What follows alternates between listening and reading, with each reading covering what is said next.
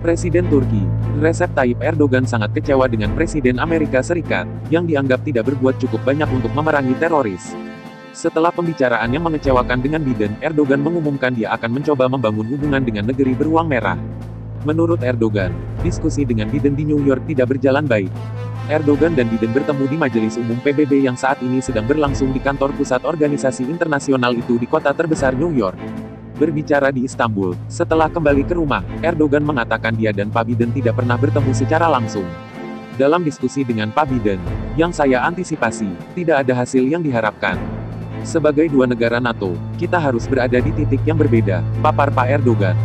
Pemimpin Turki itu juga mengecam Washington atas apa yang dilihatnya sebagai kegagalan mengalahkan ekstremisme, dengan mencatat Amerika telah mempersenjatai militan Kurdi di Suriah.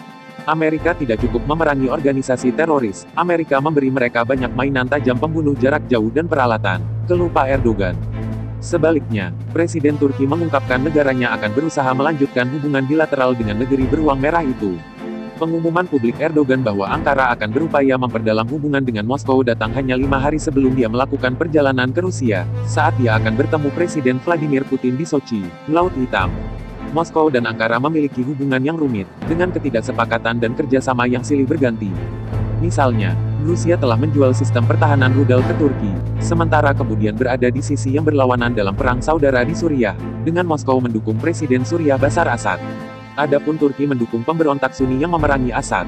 Ketidaksepakatan lain datang dalam isu Crimea, yang Ankara menolak mengakui Crimea sebagai bagian dari Rusia. Awal pekan ini, Pak Haji Erdogan mengatakan kepada para pemimpin dunia yang berkumpul di sesi ke-76 Majelis Umum PBB bahwa, Turki mendukung integritas dan kedaulatan teritorial Ukraina, termasuk wilayah Crimea, yang aneksasinya tidak kami akui.